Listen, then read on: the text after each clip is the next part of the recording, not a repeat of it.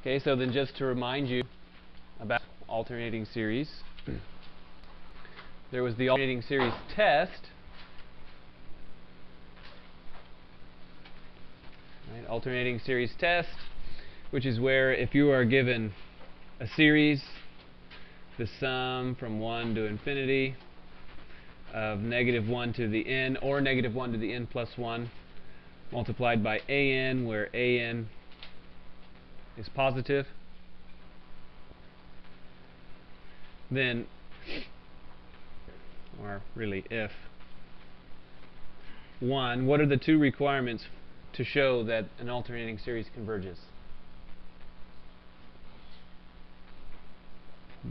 The limit, right? The limit of what?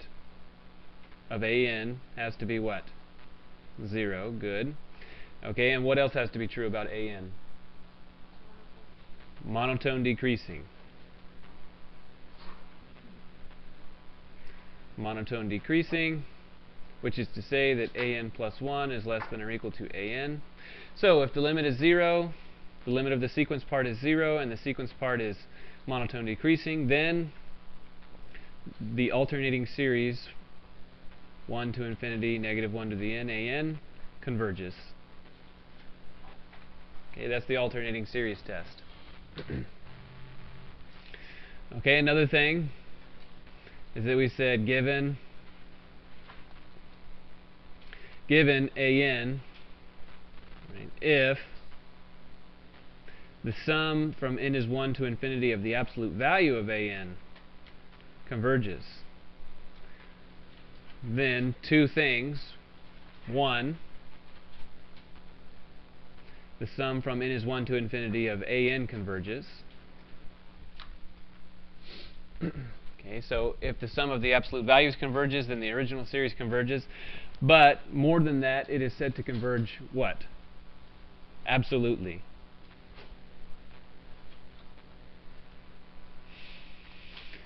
Absolutely.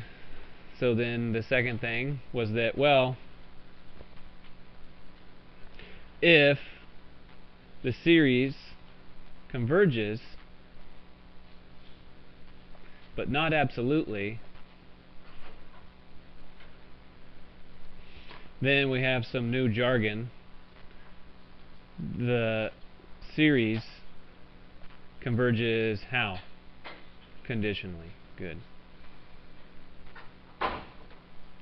So, you know, there's going to be questions you're going to be asked that say, determine whether or not the series converges absolutely, conditionally, or it diverges.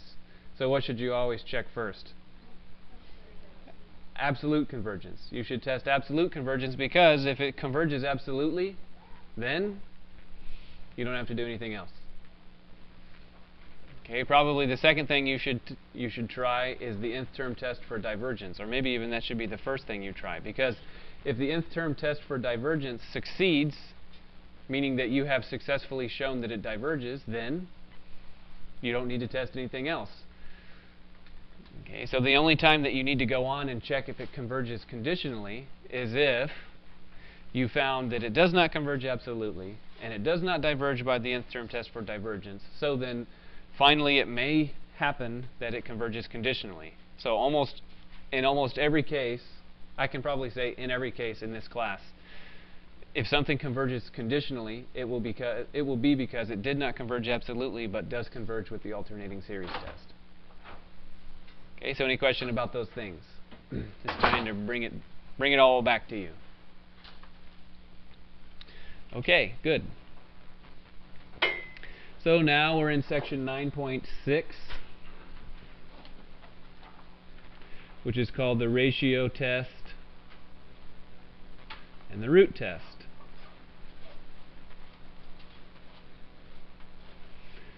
So again, what we're going to do is we're going to learn about a new kind of series, a new category of series. And you're by the end of today, we're to, you're going to be able to say, oh, I recognize that kind, and I know that I'm supposed to use the root test. Okay? So here, or the ratio test, wh whatever the case may be. So here is the ratio test.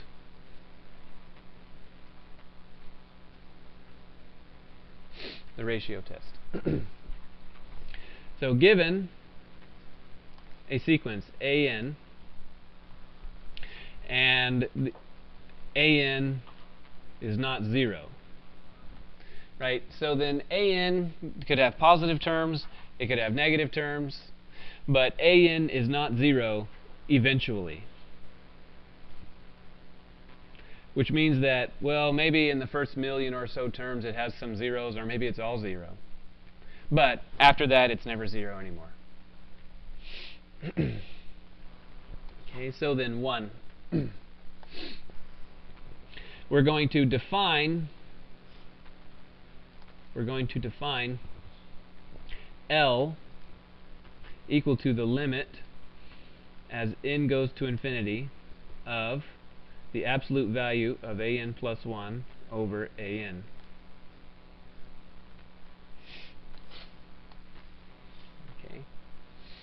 Okay.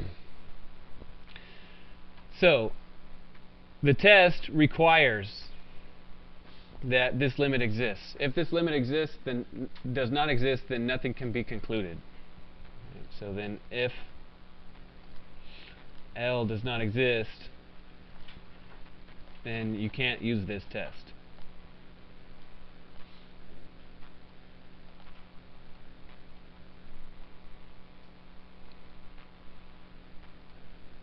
So, assuming that you can compute the limit, that the limit exists, then we have the following uh, remarks. So, first off, L has to be, assuming L exists, what is the smallest L could possibly be?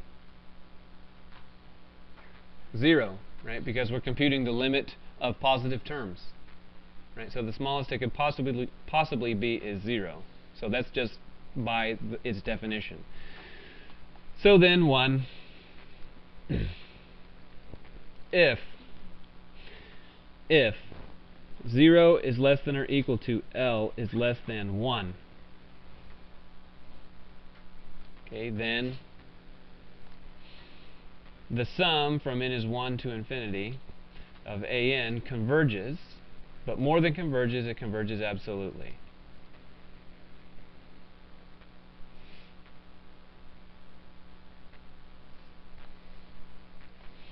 Okay, 2.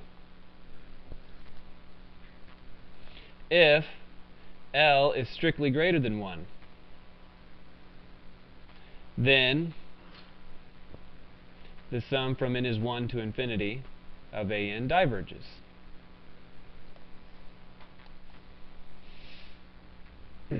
and 3, what is the last possibility for L?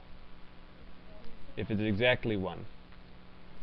So if it's between 0 and 1, it converges absolutely. If it's greater than 1, it diverges. If L is exactly 1, then there is no conclusion.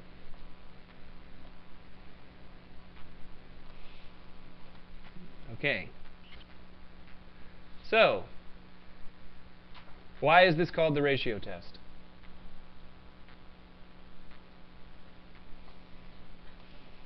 because of this ratio right here. it's called the ratio. It's called the ratio test because of that ratio. So then now tell me, what series have we dealt with, and sequence for that matter, where it was very important to consider that ratio at a very special case? Geometric. So what is, what is a geometric sequence? A geometric sequ sequence is where something is true about that ratio. It's constant, right? It's constant. So a sequence is said to be geometric if the ratio of successive terms is a constant. Okay, and then similarly, a, uh, a series, a geometric series, is the summation of a geometric sequence. So, what is the condition okay, for a geometric series to converge on the ratio? What's the condition on the ratio? Absolute value is less than 1. Okay, absolute value is less than 1. So it shouldn't be surprising, right? So by, by construction, right, this ratio is positive, so we don't need to worry about absolute value because we're, we're putting absolute value right there. Okay, so then what we're saying is that, okay, we're considering this ratio. If the limit of the ratio is less than 1, then it converges, right? Just like a geometric series. Okay, it doesn't have to be constant, but it has to converge to something that's less than 1. Similarly, if it converges to something which is positive, then just like a ge uh, which is greater than 1, just like a geometric series with ratio greater than 1, it diverges. Okay, and then there's this little gray area right here. What if what if the limit of the sequence, the limit of the ratio is exactly 1? Well, then it might converge, it might diverge. The ratio test is not able to make a conclusion. What about the case? What about the case uh, for a geometric series if the ratio is 1? Then what? It diverges, right? But in that case, that's because a geometric series has a constant ratio 1. Has a constant ratio 1. okay, so then let's see why this is the case.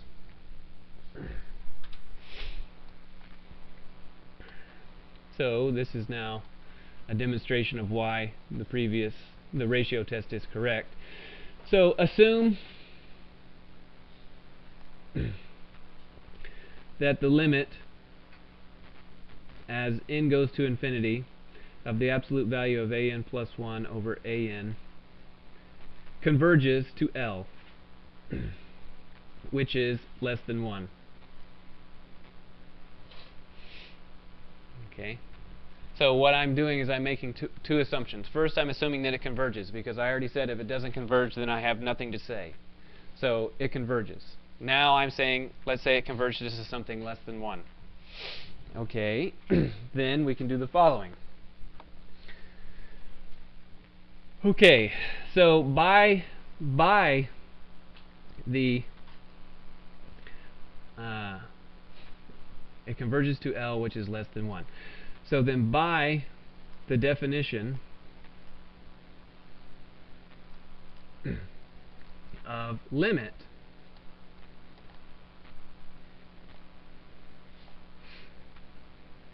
we can find two things. We can find one, that there is an R, a L less than R less than 1. So we can find an R between L and 1. And two, we can find an N such that an plus 1 over an in absolute value is less than r. so what am I saying here? So this is a linguistic ling linguistic requirements, but this is what I'm saying. So the limit of the sequence converges to L. So then I can find some number between L and 1 such that the sequence, the limit of the, of the ratio, is always less than r from some point on, right? For before, before that point, you know, maybe it takes the first billion terms, it might be greater than r. It might have been greater than r. But after that, it has to eventually be less than r. Can't be any more. Okay, so then, we can say the following, that the absolute value of an plus 1 of an plus 1 is less than r multiplied by the absolute value of an. okay, and this is for n greater than n. Okay, so then we can say, okay, in that case, the absolute value of an plus 2 must be less than r multiplied by the absolute value of a n plus 1. Right? All I did was increase the index. But this, in turn, is less than r multiplied by r multiplied by an. Right, so what I did is I replaced I replaced this term. Oh, excuse me, not that. I replace this term with this term. Okay, so then simplifying, right, this is equal to r squared multiplied by an. So an plus 2 is less than r squared times an. okay, so then I can continue this pattern and say that, okay, an plus k is less than r to the k multiplied by an for n greater than n. so then generally speaking, I can always say this that an is less than, or excuse me, an plus k is less than r to the k multiplied by the absolute value of an.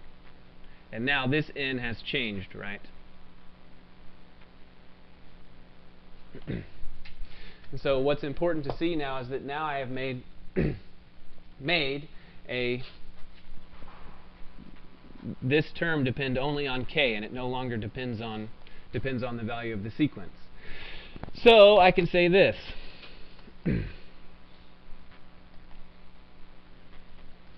so the sum from n is 1 to infinity of the absolute value of an well that is equal to I can break this into two sums the sum from n is 1 to big N of the absolute value of an. So that's the first part. The first part that could be doing anything whatsoever. Right? This part, the sum of the first n terms can be doing anything. But after some time, I can say plus n is big N. So this should be this this top index should be big N minus 1 and this should be big N to infinity of the absolute value of an. okay, so then the series the series that's in the red box, tell me about it. Does it converge? The one in the red box. Really, it's not even proper to call it a series. Does the sum in the red box converge? So your answer should be immediate and resounding. Yes. Why? Why? How many terms are in there? A finite amount, right? Can you add up a finite amount of numbers, a finite quantity? Yeah. You can always add them up. The only thing where there's a question is what about the last the, what about the the series in the green box? Does it converge? Does it converge? Well, because of our previous inequalities and arguments, we can say this that this is less than or equal to the sum from n is 1 to this finite number n minus 1, the absolute value of an, and then plus now the sum from n is n to infinity of the sum of r to the n, the absolute value of a big N. Right, this is from the previous thing.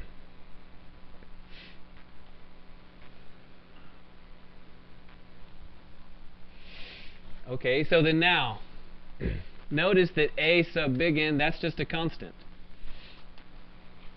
That's just a constant, so we can say that this is the sum from n is 1 to big N minus 1, the absolute value of an, plus, I can factor this out, an multiplied by the sum from n is big N to infinity of r to the n. So then now tell me about this. The question is, is does, does this series converge or not? So what kind of series is this? So first off, this is just a constant. Right, this part is just constant. So it doesn't affect the convergence of the series. What kind of series is this? This is geometric. It's a geometric series. What is the condition on big R that says that this will converge? It has to be less than 1 in absolute value. But that's what we said. Right? That's what we said at the very top. So look, it says we can find an R that is greater than L but less than 1. And the rest of the series beyond this point is less than R. And therefore, this series has this property. So then, this series converges. this series converges.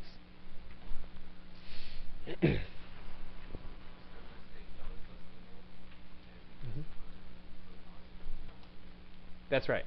Because if the if a sequence converges to say half to one half, then there has to be some place where that sequence from that point on is less than three fourths. It's never greater than that anymore. right? Because that's the epsilon delta definition, right? You have to say that give, there's a certain horizontal strip where you can say it's in this horizontal strip from here on. So to say that it converges, that the ratio converges to L, which is less than 1, you can pick any number between L and 1, and there has to be a point where the ratio is always less than that number from then on. yes?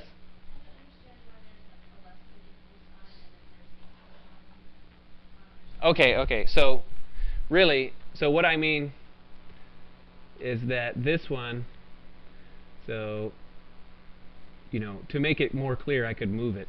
Right, this. Oh, it didn't grab the infinity. Okay. Work with me, machine. So it's like this.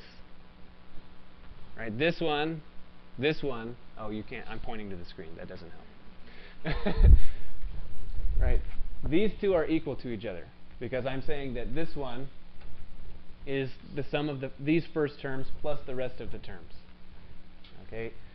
This, this one is equal to this one. These I just copied these. Okay, this one is less than or equal to this one, and these two together are equal to this one. Does that clear it up? Okay.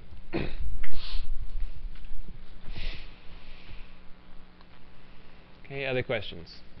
So the important thing that I want you to see from this is the ratio test is what it's doing is it set, it set up a comparison between this this sequence and series that has a ratio that converges less less than 1. So we said, well, do we know of any other series where we're dealing with ratios and things like that? Sure, a geometric series. So then this sets up a, a comparison using the direct comparison test between a series which might which may not have a constant ratio but has a ratio that converges to something less than 1 to a geometric series which has something that converges less than 1. So the reason why the, the ratio test has power and has has the ability to tell you this thing is because of the geometric series. Okay, and for the exact same reason, and I'm not going to show it, if the ratio converges to something greater than 1, then it has to be greater than a geometric series with ratio greater than 1, and so it diverges as well. Okay, so any question about these things? okay, so then mechanically, mechanically all that this comes down to is you use the you announce to the grader that you're going to use the ratio test. You carefully compute a limit, and if the limit is between 0 and 1, then you say it converges. If it's greater than 1, you say it diverges. If it is equal to 1, you say, oops, I can't make any conclusion. I need to do something else. So it's good to avoid that because you know doing the ratio test is like half a page or a full page of work. You don't want to you don't want to go through it and say, oh, that was a waste of time. okay, so for example,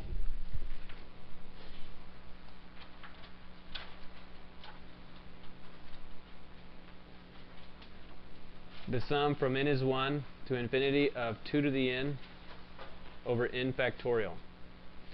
Okay, so then the first note I'm going to say as a test-taking strategy is this. If I say use the ratio test, you should use the ratio test. Okay, second, okay, second is that if there are factorials, if there are factorials in the problem, and it's a series and I want you to determine the convergence or divergence, it is almost certain that you will need to use the ratio test. Right, so then factorial implies ratio test. And this is almost always. And the only reason why I'm why I'm saying almost always is that you know I'm sort of a conservative person. I'd hate to say always, but honestly, I can think of no case where factorial would be there and you would not use the ratio test. I can think of none. but maybe I'll find one between now and then. Okay, so then, we're going to use the ratio test. We should announce our intention to the grader. Okay, so let's compute the limit. Okay, so then, we're going to use the sequence part an is 2 to the n over n factorial. 2 to the n over n factorial. So that we need to compute the limit. as n goes to infinity of the ratio. Okay, so first off, first off, I kind of want to kind of want to point out. Right, so 2 to the n, right? That's geometric. Okay, grows pretty quick, right? 2 to the 2 to the 128 is like a humongous number. It's almost inconceivably huge number. Okay, but how about uh, n factorial? Factorial grows pretty quick too. So the question is sort of, you know, which one wins? Does one of them win? I don't know. Let's see. So then, if the geometric thing in the numerator, 2 to the n, grows faster than the factorial part in the denominator, will it converge or diverge?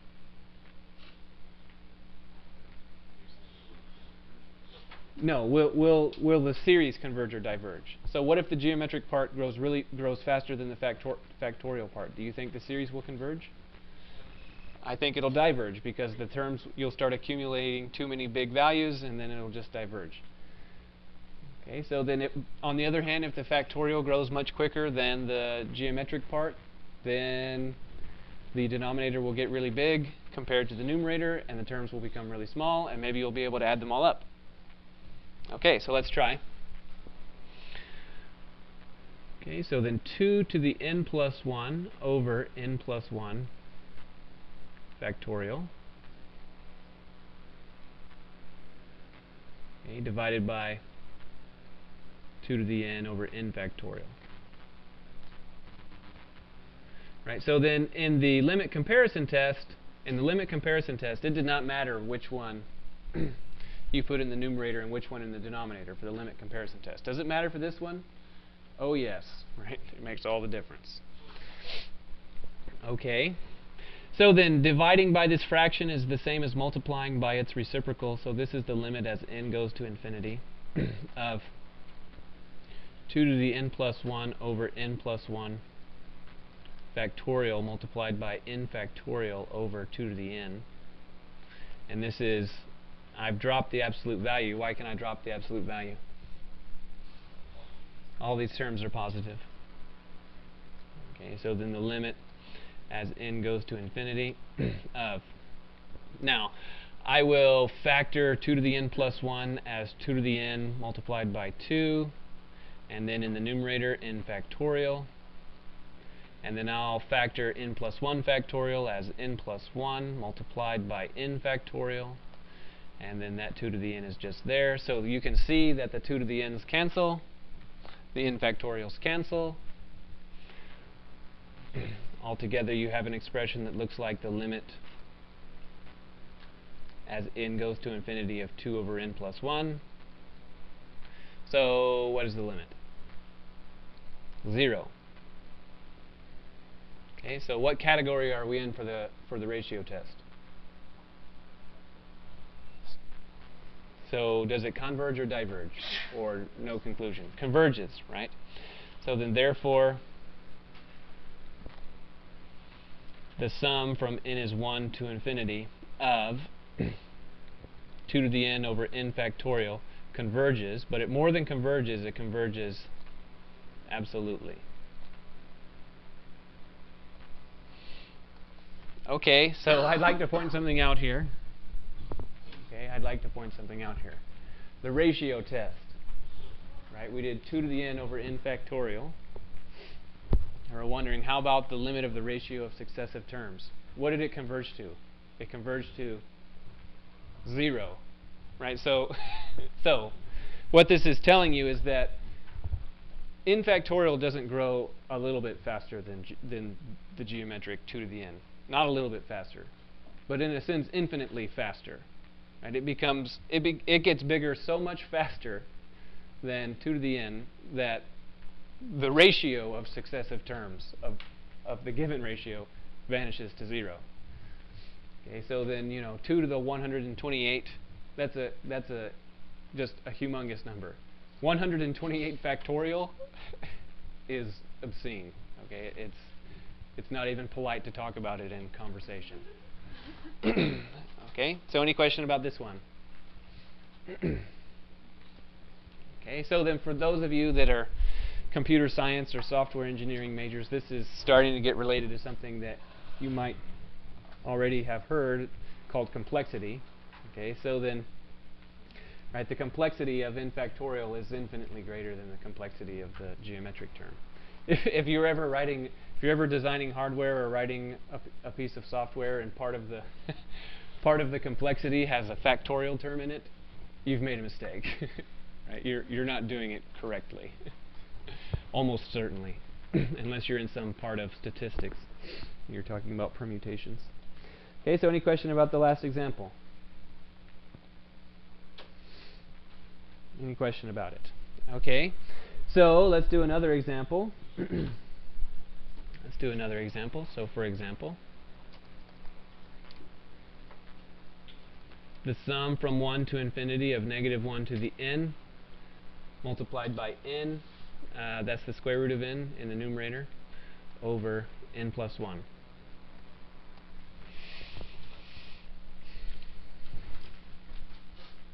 Okay, so under normal circumstances, under normal circumstances, I would never say let's use the ratio test, but just for the purposes of demonstration, let's use the ratio test.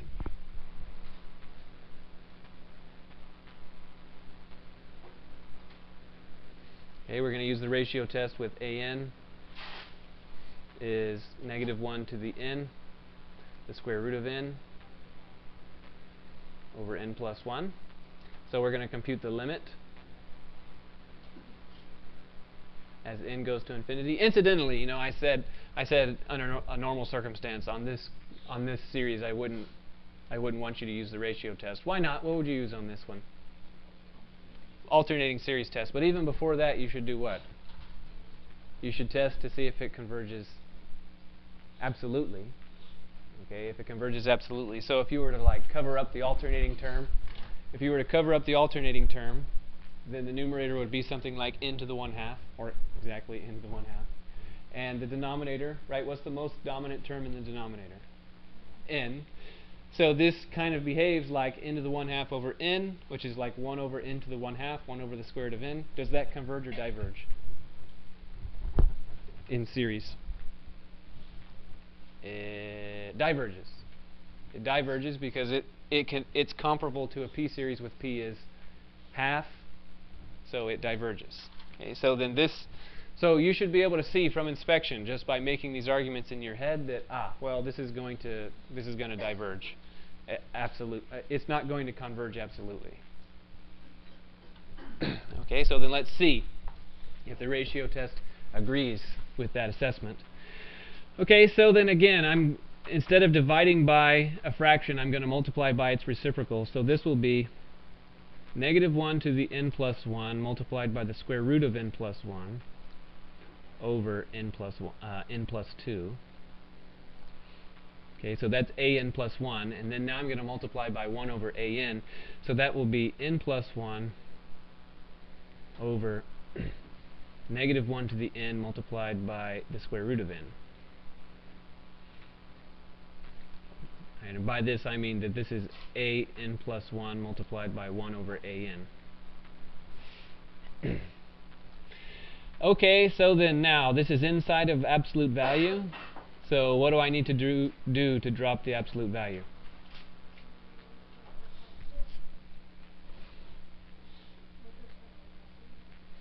Right, so which, which terms which terms have can possibly be negative? Can can this ever be negative?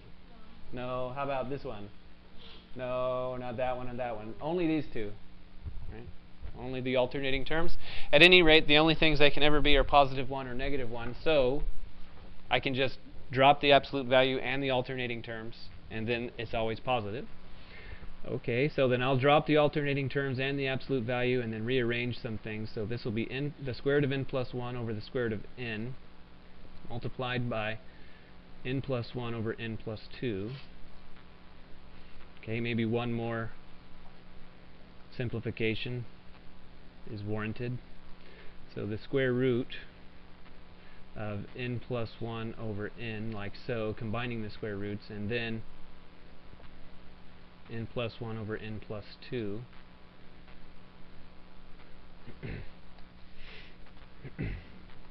okay, so then so then, what is the limit of the square root? What is it? 1, right? So the square root of 1, and then multiplied by what is the limit of this ratio? 1. So altogether, what is the limit? 1. Right. So then what is the ratio test able to conclude? Nothing. Nothing, right? So the ratio test makes no conclusion. So if this question was, if this question was, consider the following series with the ratio test, right? Then then this would be the answer, right? If it was just I just gave you this series and you said ah, and I want you to determine if it, if it converges, diverges, or conver converges absolutely, converges conditionally, or if it diverges, then if you use the ratio test, you would have wasted your time, right? Because you just did all of this work. The ratio test makes no conclusion you have to go on and do other things. Okay? so any question about this one? Any question about this one? Okay, so finally, finally, I want to make a remark, just generally speaking. So then, notice, right, at the, at the beginning of the previous example, I said that this, right, this is comparable to a p-series, right? You should be comfortable with that now because you know, if you drop the alternating term and you just consider the numerator and the denominator, this is like n to the 1 half, the denominator is like n to the 1, so the ratio is like 1 over n to the 1 half, which is a p-series with, with p is half. So you should be able to see in your head, without writing anything down, that this behaves like a p-series. And not only does it behave like a p-series, but I know that that p-series diverges. Okay, so then now, the ratio test was not able to tell you anything about this. Okay, and the next remark I'm about to make is going to show you why the P, why the ratio test is not was not able to say anything about it at all because the ratio test is not able to say anything about any p series. Right? So then some p series diverge. For example, the harmonic series is a p series; it diverges. Okay, but the series of 1 over n squared, well, that converges, and it more than converges; it converges absolutely. Okay, but nevertheless, the ratio test is not able to say anything about them. Okay, so this is the ratio test.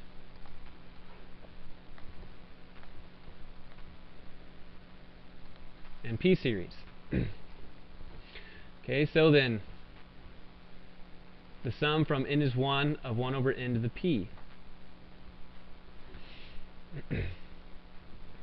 okay, let's use the ratio test. So, what I'm going to say, the conclusion is, is that ratio test cannot make a conclusion.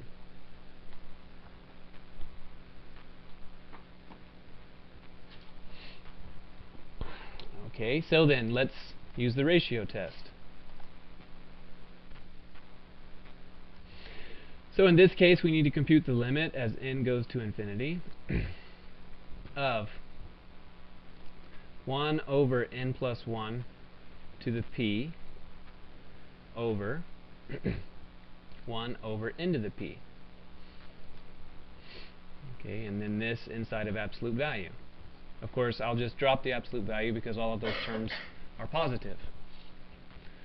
So the limit as n goes to infinity, after algebraically rearranging some things, right, this will be uh, what?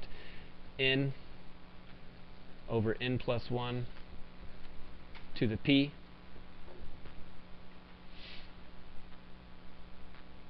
Okay, so what is the limit of the term n over n plus 1? That's just 1, so this is 1 to the p, and this works because p is a constant. So it's just 1. So this is for any p series, right? Some p series, some p series diverge. Okay, some p series converge, absolutely. Okay, but the ratio test is not able to make a conclusion. So what I want, one of the things I want you to see is that, okay, if I'm dealing with a series like the previous example where I can see that it's comparable to a p-series, ratio test is out. Don't even try it. It's not going to be able to tell you anything. Furthermore, we're not really going to get into this in this class, but I want you to see that the ratio test, if you determine that something converges with the ratio test, then it really converges. Okay, it converges like really fast. Okay, and a geometric series converges really fast. Okay, as in comparison, 1 over n squared does not really converge nearly as fast as a geometric series or something that something that the ratio test can determine converges. If the ratio test says that this thing converges, then it converges like a geometric series, which is very fast. okay, so any questions about this remark? Yes?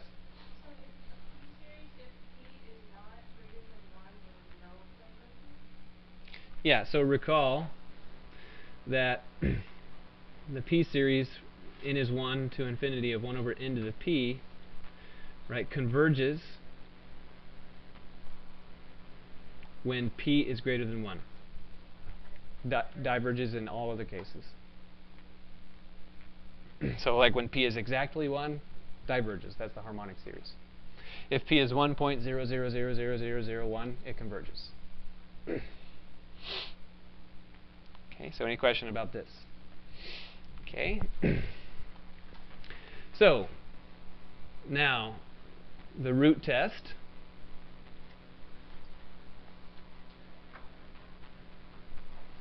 Okay, so then there's another test that we need to talk about called the root test. So let's suppose that we are given a sequence, AN. okay, and we're going to define another limit, L is equal to the limit as n goes to infinity of the absolute value of an raised to the 1 over n. Okay, and this the, the reason why it's called the root test is because we're computing nth roots. okay, so then this is this remark is that right, if L does not exist, then the root test says nothing.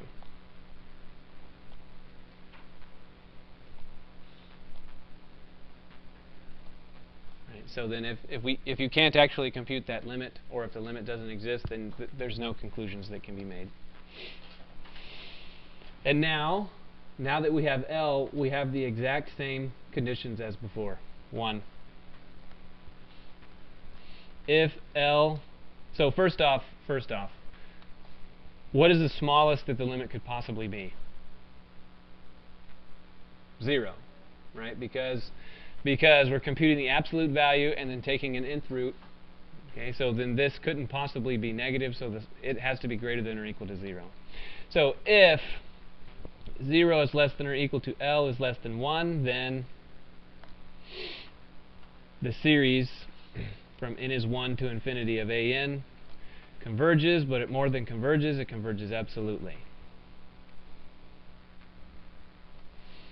Okay, second,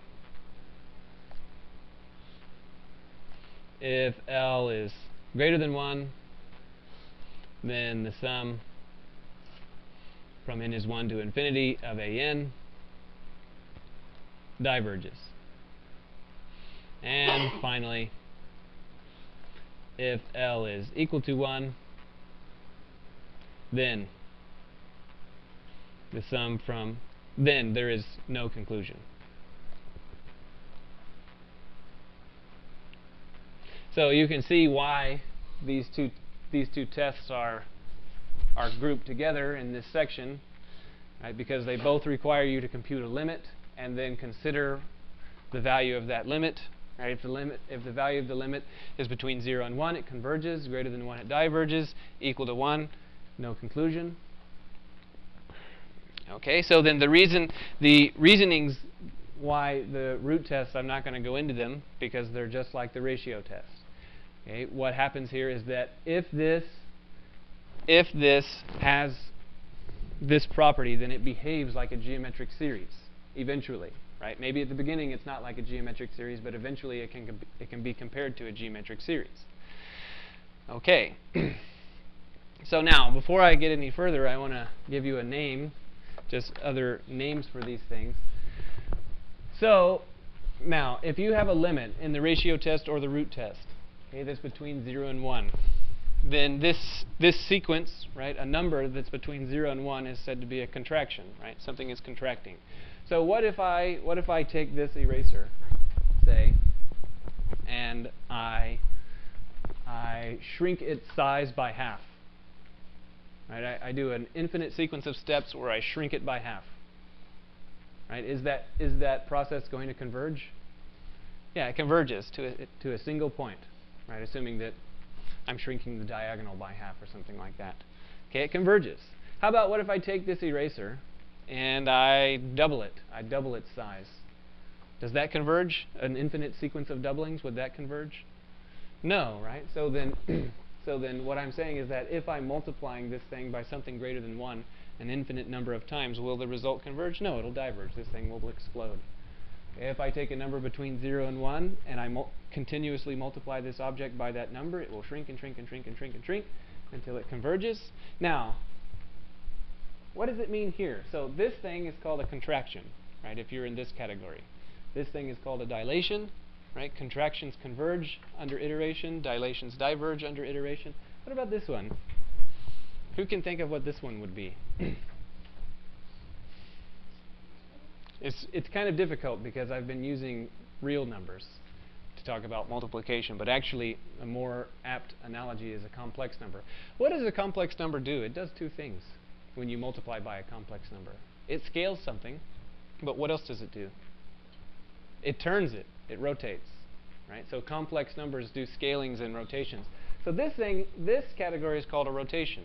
So some rotations converge, but not all rotations. Some rotations diverge. So for example, you take the second hand, the second hand of a clock, right? Every second it, it moves from your direction this way, right? Click, click, click, click, click. And then does the second hand converge? Right? No, it just it just goes all the way around, never converges to any particular point, just rotating around the clock. Never converges to anything. Right? So then sometimes if you're in the case of a rotation, it doesn't converge. Now let's say that I have some very weird clock that has the following property where uh, you know it starts at 12 and then at one second it goes half the distance back all the way around, right? Click. And then the next second it goes half of the remaining distance. Click and then the next second, half of the remaining distance, click, and then half the remaining distance, click. Right? It keeps doing this all the time. Does that converge? Yeah, it converges to straight up 12. So that's a kind of rotation that converges. Right? So some rotations converge and some rotations diverge. Okay, so that's the geometric intuition behind these things. Okay, so any questions before we do an example? Any question? Okay, this looks... These are all so boring. Look at this.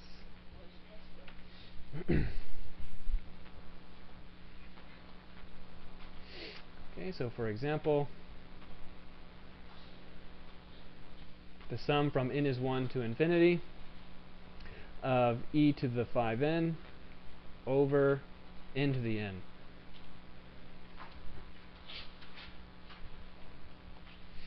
Okay, so then now, two comments as far as test taking strategies are concerned. Okay, so then if you see n to the n, okay, that's a good indication that you should try the root test. Okay, but there is a there is a legitimate and very important exception to this, and that is unless n factorial is also present. And then you should use the root test. Oh, uh, the ratio test. yeah.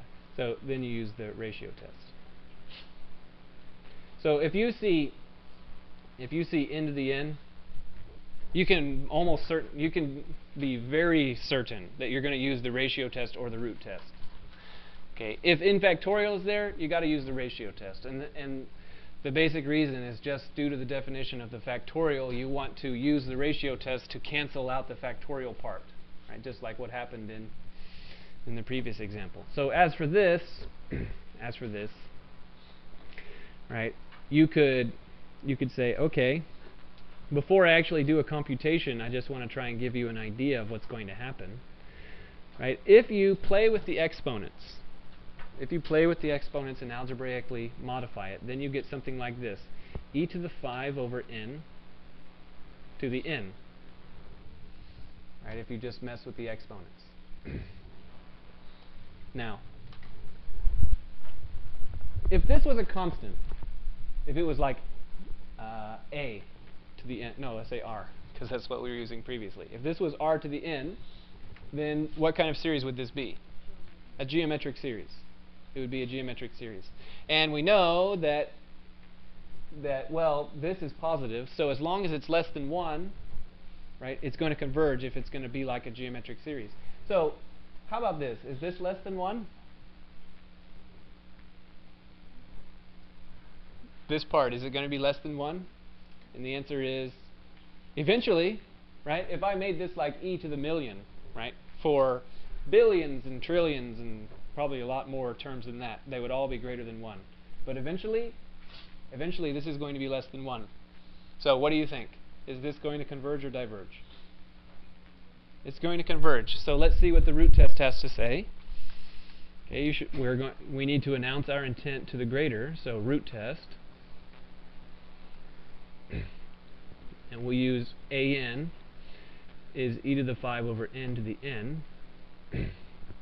okay, so then the limit as n goes to infinity of the absolute value of e to the of like this e to the 5 over n to the n into absolute value 1 over n. Okay, so then I can drop the absolute value because because all of those terms are positive. Then I have the exponent n multiplied by one, uh, n to the 1 over n like this. So then how do you algebraically combine iterated exponents? With multiplication. So this is equal to the limit as n goes to infinity. The limit as n goes to infinity of just e to the 5 over n. Okay, and what is this limit? 0. The limit is 0. okay, so then what is the conclusion? It converges, but more than converges. Converges absolutely by the root test.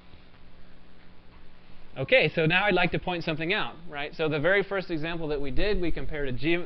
We said, okay, how about the series of 2 to the n over n factorial, right? And I said, well, if this is going to converge, then it depends on how fast these two things grow with respect to each other, right? If the geometric series grows faster than the factorial, if the geometric thing grows faster than the factorial thing, then it's going to have to diverge. If the factorial thing grows fast enough, then it's going to converge. Okay, and what do we determine? The factorial, using the ratio test, right? We got a 0, which means that the factorial doesn't, doesn't grow a little bit faster than 2 to the n. It grows incredibly faster than 2 to the n. In a sense, infinitely faster than 2 to the n. Okay, so factorial grows really, really quickly. Okay, then we did this question. Right, another, another geometric thing in a numerator, right? e to the 5n, that's geometric. Right, it's geometric. And then we have this n to the n. And so in this question, it's essentially, you know, what do we determine? We determine it converges. So what does that tell you about n to the n? It, n to the n's growth versus e to the 5n. n to the n grows a lot faster than e to the 5n. So much faster that you, you can't even like give it a ratio. It's like it's infinitely faster. That's how much faster it grows. So now we have these two things, right? We have n to the factor we have n factorial and n to the n. And they both apparently grow infinitely faster than geometric things. So how do they grow compared to each other? Right? Because they both grow pretty fast. How fast do they grow with respect to each other? I don't know. Maybe you should look into that in your own time. so, specifically, I would encourage you to solve this problem. Right, this sum from n is 1 to infinity of something like this. n factorial over n to the n. See if it converges or not.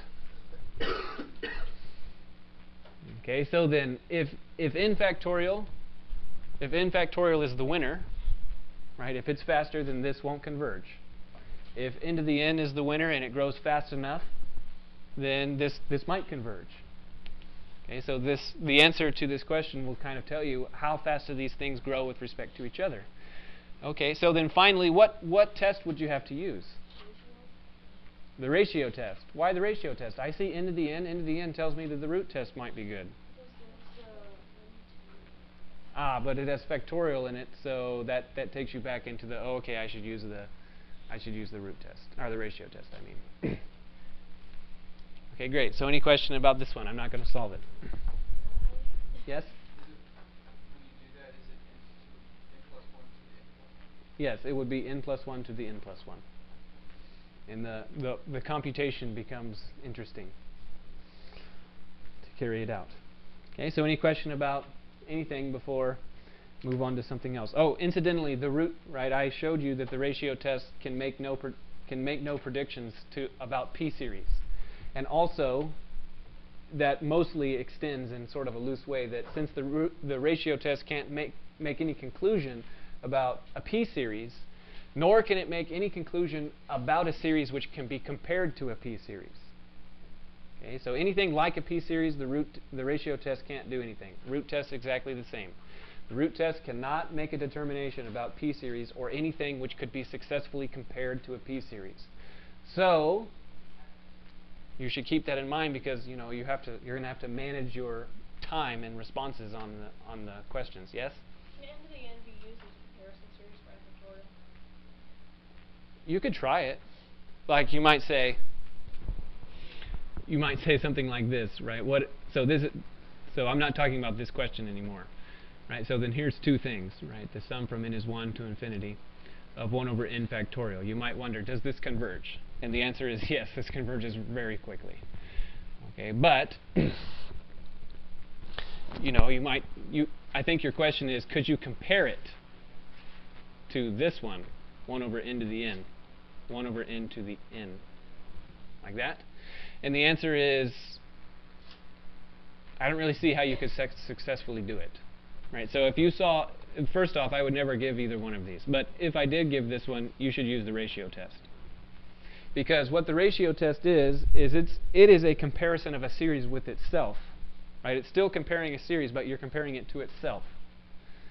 Okay, and you're asking about the ratio of successive terms. And if the ratio of successive terms converges in absolute value, and it's between 0 and 1, then you can say, okay, I compared this series to itself and then to a geometric series. So comparing this series to itself, it behaves less than that geometric series or more than that geometric series, and therefore it converges or diverges as appropriate. Okay, so here, for, for this one, it is the exact same story, except algebraically it's more convenient to use the root test than the ratio test. Couldn't you say, though, that because n converges, then n factorial converges since n factorial is always less than n Ah, but you don't know that.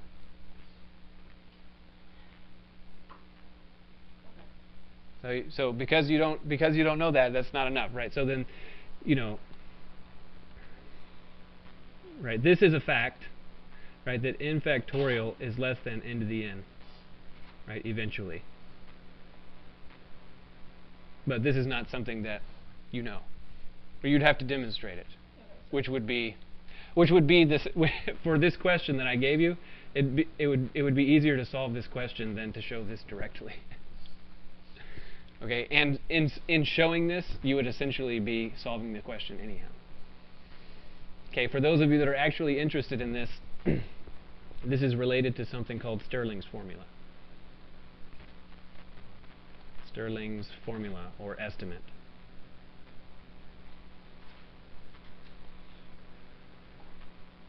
Is a historical, a, a point in history where this was being considered.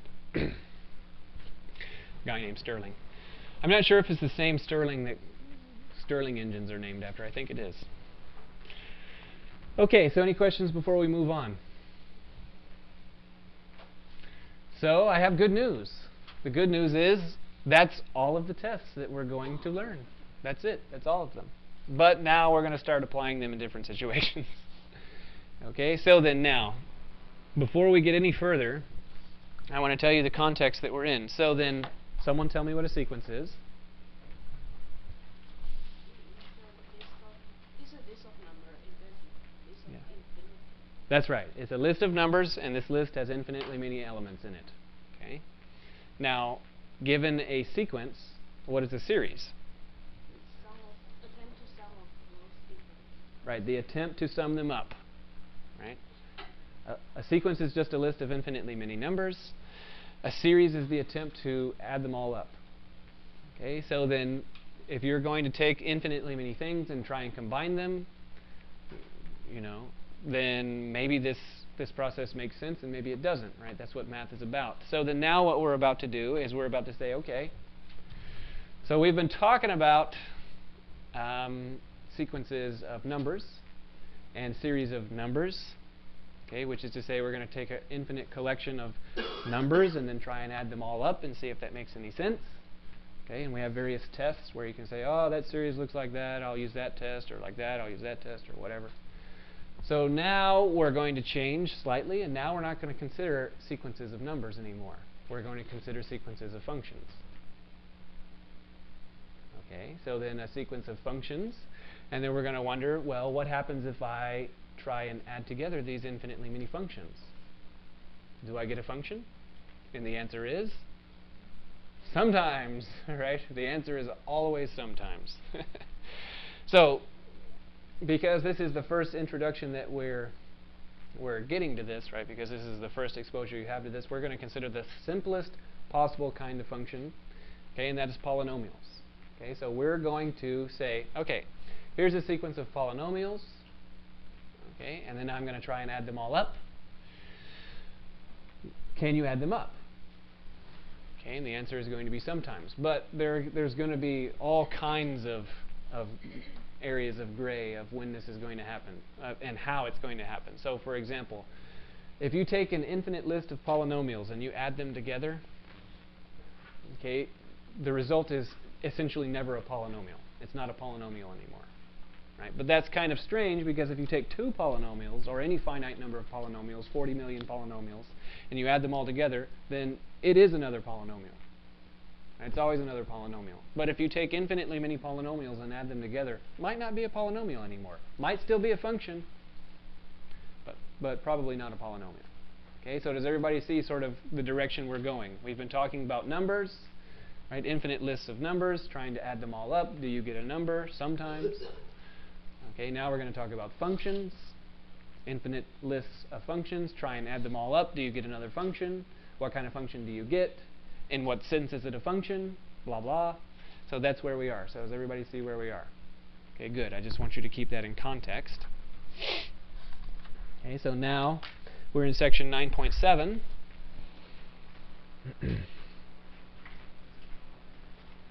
which is called Taylor polynomials.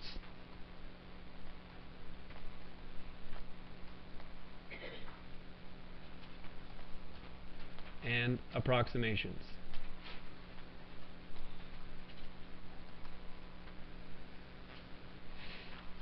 okay, so I'm going to, in order to broach the topic, I'm going to say find the equation of the tangent line to y is, I'll say it like this, to f of x is e to the x at x equals 0. Okay, so this is calculus 1 question. okay, so I'm just going to do it quite rapidly because I want to say some other things before we break for the day. And that is, okay, find the equation of the tangent line. so, I need to find the slope, so I'll do that. The derivative of e to the x, conveniently, is e to the x. So the slope of the of the tangent line is m evaluated at the derivative. m is the derivative evaluated at 0, which is what in this question? 1. Okay, so then the point that is on the line is what you get when you plug in 0. So you get y is equal to f of 0, which is also 1. So the point which is on the line is 0, 1. So we can use the point slope form of a line the point is 0, 1, the slope of the line is 1. so the equation is y minus 1 is equal to 1 multiplied by x minus 0. After simplifying, this is y is equal to x plus 1. Okay, so this none of this should be uh, surprising to you at all.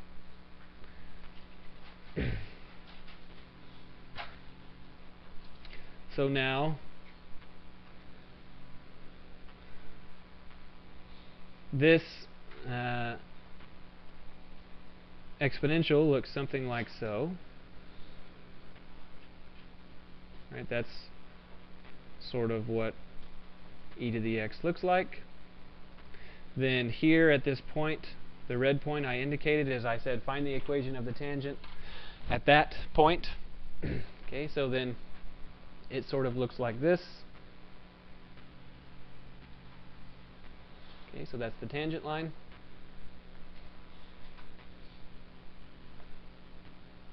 So now I'd like to point something out about the tangent line. The tangent line has two properties that are very important. First off, it's attached to the function there, right? They share that common point. Right? The tangent line isn't somewhere over here, it's not up there, right? They're attached. Okay, now, so in that sense, the graph and the tangent, they agree about the point. They agree right here. What else do they agree about? Right? Why is the tangent line like this and not like that? The slope, right? They have the same slope. Right? So the tangent line and the graph, they agree about two things. They agree about the point, okay, and they agree about the slope. Okay, so then now I'm going to write something weird, something that you may think is weird, and that is that, okay, well this right? Considering the slope, what we were doing is we were doing this, f of 1. So what does this, what does this notation mean? f superscript 1 in parentheses. So this is a notation that should have been introduced to you in 2417. What does that mean when you do superscript 1 like this? The first derivative. The first derivative. And, right, this, how do you denote the original function? the superscript is what? 0. So this is the zeroth derivative. Right? The zeroth derivative. So what I'm saying here is that is that the graph and the tangent line they agree with the zeroth derivative and the first derivative. That's how they agree. Okay, so now what we're about to say is why stop at 1? Right? Why not make why not come up with something that agrees with the zeroth derivative, the first derivative, and the second derivative? Why stop at 2? Why stop anywhere, right? So we could come up with a polynomial that agrees, right, because this, right, the equation of a line is a polynomial. Okay, we could come up with a polynomial that agrees with this function arbitrarily well, right? It agrees with the first, second, third, fourth, fifth derivatives. Okay, so it agrees all the way up, up to the top. So then this right? This is called a tangent line. Tangent line. But the word tangent for mathematics in English is, uh, when it's conducted in English, is always reserved, almost always reserved for when the agreement is up to the first derivative. When you start going on, when you want to say, uh, you know, we agree that the tangent object agrees with the graph object up to the fifth derivative or something like that, then it's no longer called tangent, it's called osculating. So this is called an osculating line. Okay, but we could come up with an osculating parabola, we could come up with an osculating cubic, an osculating quartic, an osculating quintic. Incidentally, what does osculating mean? It means kissing, right? Kissing. That's the kissing line. And of course, we would never say that in English culture. That's far too, uh, I don't know, over the top, whatever. So, so this is what we're doing now, is we're going to find polynomials, okay, that agree with the graph up to higher order derivatives. Okay, zeroth, first, second, third, fourth, fifth, arbitrarily high. So does everybody understand the general idea? Okay. So let's do that. so let's do that.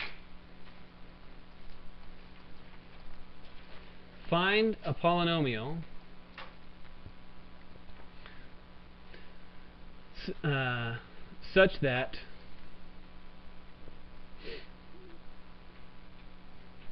p evaluated at 0, the, the zeroth derivative evaluated at 0 is equal to f evaluated at 0, and p1 evaluated at 0 is equal to f1 evaluated at 0, and p2 evaluated at 0 is equal to f2 evaluated at 0, and for good measure we'll go one more, p3 evaluated at 0 is f3 evaluated at 0.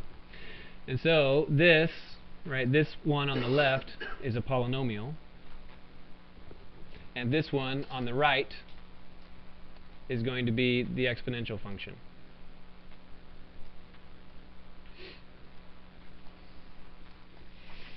Okay. okay.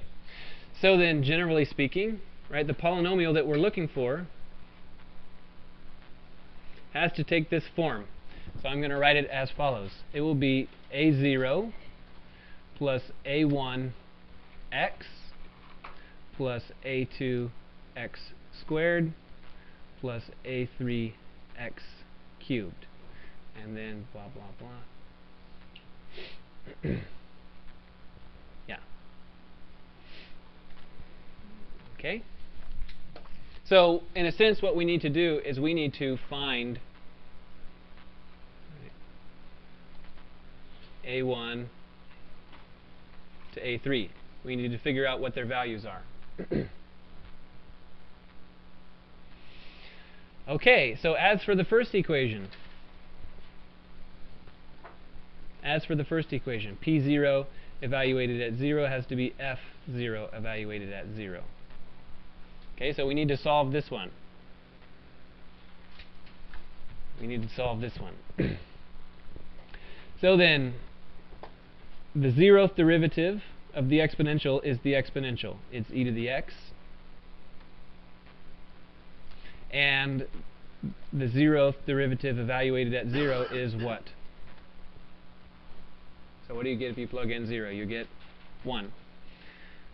Okay, so then p evaluated at uh, the zeroth derivative of p evaluated at 0 is what? So then here's p. Right, so let's back up just a little bit, right? So so that we get the pattern. So this will be a0 plus a1x plus a2x squared plus a3x cubed. So what do you get if you evaluate the zeroth derivative at 0? You get a0. Right? If you plug in 0 for x into here, you get a0. So what does that tell you about the value of a0? This tells you that a0 is equal to 1. Okay? So then now let's do the second equation. that the first derivatives have to be equal.